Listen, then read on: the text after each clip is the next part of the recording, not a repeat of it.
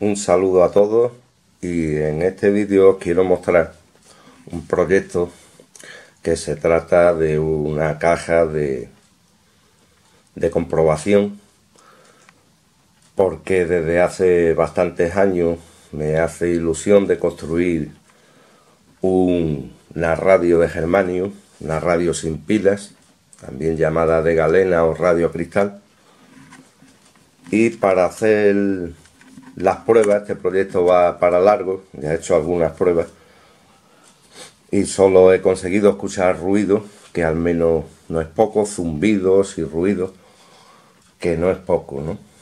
Por las interferencias que hay y tratándose del tipo de radio que es sin energía propia, ¿no?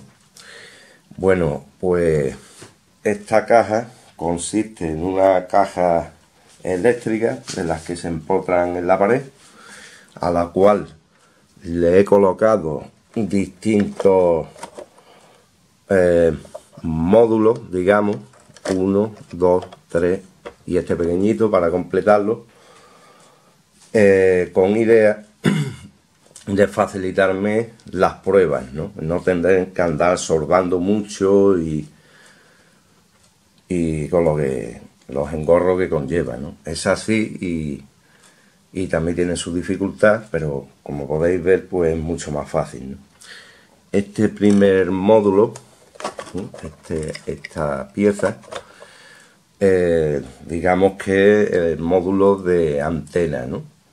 Donde puedo conectar en esta borna la tierra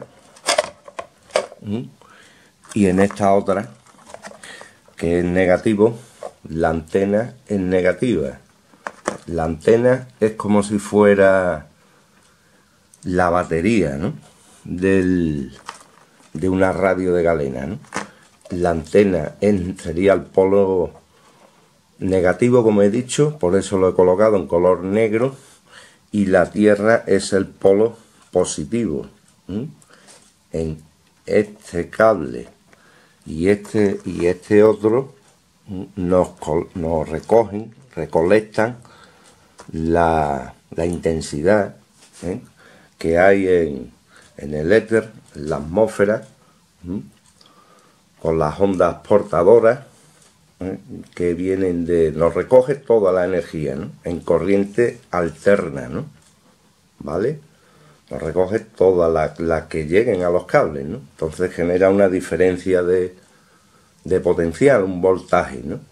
¿Vale? Este, por eso es negro la antena, negativo, y rojo la tierra, el positivo, ¿vale? Entonces desde esas eh, corrientes que nos llegan, ¿vale? Se, tendremos que seleccionar las que nos interesan para poderlas oír, es decir, las, las corrientes que son de radio, ¿no?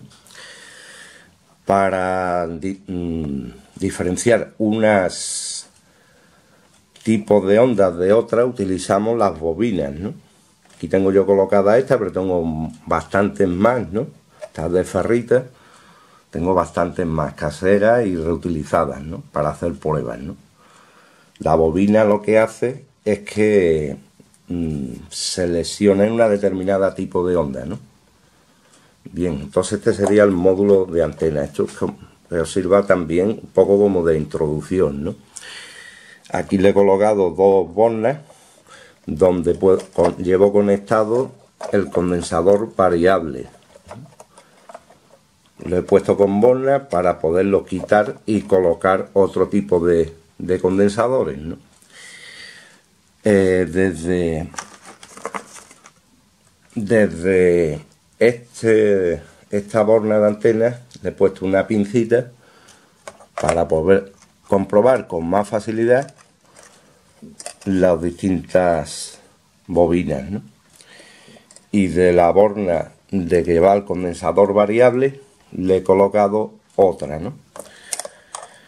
Bien, igualmente en, eh, en la toma de, tierra. Hay bobinas que llevan solo dos salidas y otras tienen cuatro. Las bobinas se comportan las que llevan cuatro como un transformador. Llevan un primario y un secundario. El primario suele ser el que más ohmio nos da. Perdón, el que menos ohmio nos da al medirlo, los dos hilos. Y el secundario, el que más ohmio nos da. Entonces, si nos entra un voltio por el primario, con igual ciencia que un transformador, nos da, nos aumenta ¿no? el voltaje eh, por, el, por el secundario. ¿no? Entonces, por eso le he puesto estos cuatro cables. ¿no? En vez de uno solo, cuatro. Cuando quiero probar una bobina de dos cables nada más, lo que hago es que los uno, estas dos pinzas, y conecto solamente eh, a un hilo. Y en este igual, porque lleva solamente dos. Después, este otro módulo es, eh, yo diría, de sintonía. ¿no?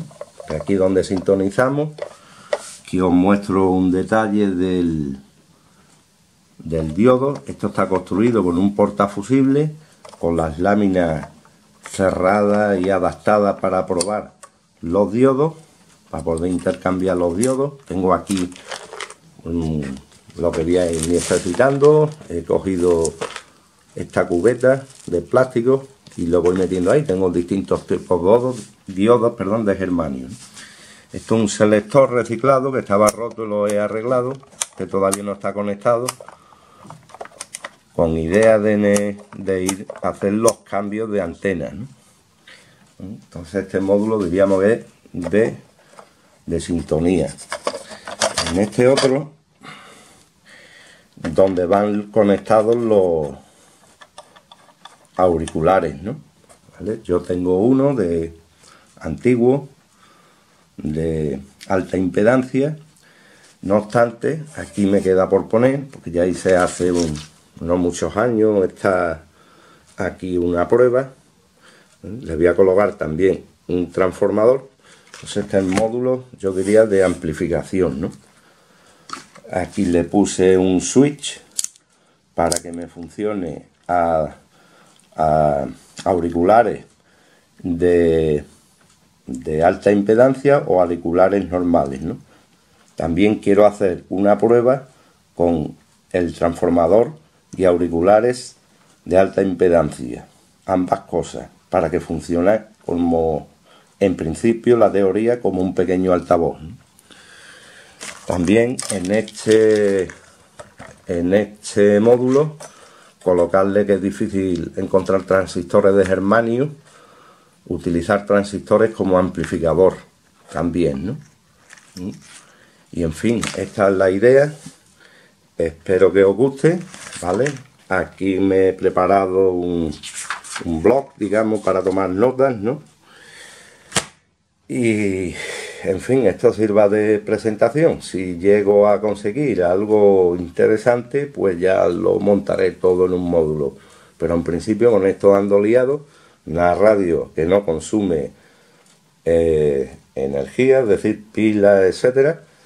Y bueno, si os gusta, suscribiros un abrazo para todos y hasta pronto.